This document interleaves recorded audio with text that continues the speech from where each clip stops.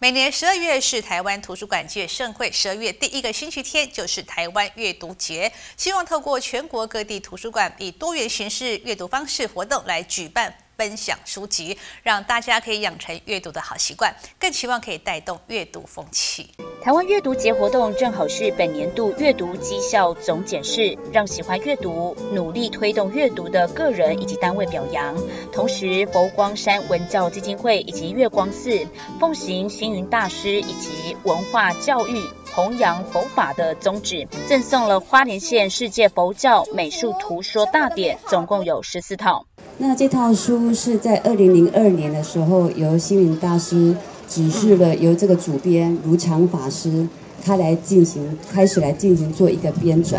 那一开始的时候，那大师就请如常法师去征征求一些专家学者的一个意见，怎么样来进行编这一套书。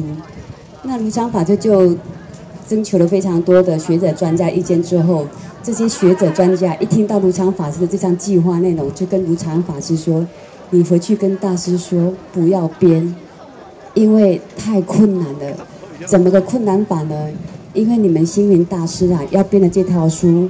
不是只有台湾的，也不是只有大陆的，是全世界的佛教艺术。县长徐祯伟也表示，佛教艺术以文字穿透了建筑文化，让整个佛教艺术史引导众人来了解佛法。这是一个分享的一个市集。所以一直持续到今天已经好几年，而今年我们又结合我们这个表扬我们的 GEO 的图书馆，或是推动人员以及我们小书虫、大书虫啊。另外今天真的恭逢盛会，我们的佛光山月光寺要送给我们世界这个佛教美术图说大典。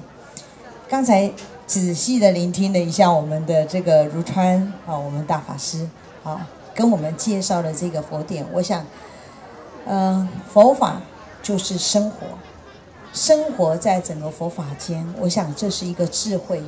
就如同我们在这个浩瀚的书海里面摄取非常非常的多的能量，也更能看到文字的穿透力和文字令人感动。尤其是艺术文字，其实它整个穿透了整个人类的发展史，还有译文的发展史。而获得一百零九年度基优图书馆有第三名的寿丰图书馆，第二名是吉安图书馆，第一名则是花莲市立图书馆，接受了县长的表扬。文化局图书馆最好的伙伴，谢谢他们这一年来的努力。花莲县文化局也表示，欢迎热爱阅读的民众踊跃参加阅读活动，一起传递感受阅读无所不在的幸福，提升民众的。阅读热情。记者林杰花莲市采访报道。